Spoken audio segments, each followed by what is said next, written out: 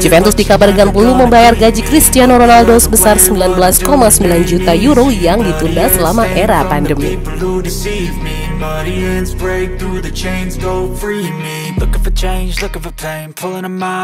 Pemain tengah Juventus Paul Pogba dikenakan sanksi oleh Komisi Nasional Anti Doping Italia karena terindikasi memakai doping.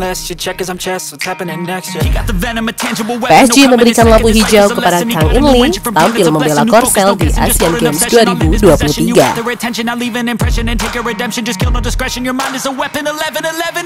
Klub Liga Qatar Al Duhail berhasil meminjam Felipe Coutinho dan bersedia membayar gajinya dari Aston Villa.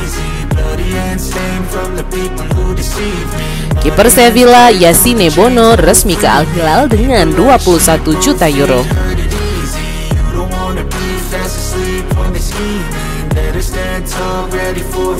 Putuskan kontrak dengan Sion, Mario Balotelli telah setuju kembali ke klub lamanya. Adana Demispor.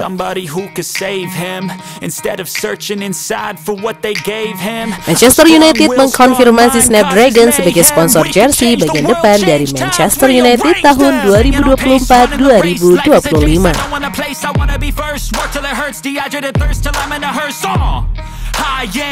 Hansi Flick dipecat sebagai pelatih tim nasional Jerman. Rudi Voller ditunjuk sebagai pelatih sementara sampai pelatih baru resmi ditetapkan.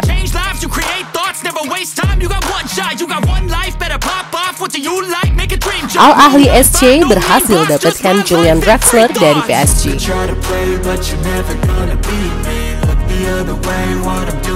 Samir Handanovic bersiap untuk pensiun dari sepak bola profesional setelah berstatus bebas agen dari Inter Milan.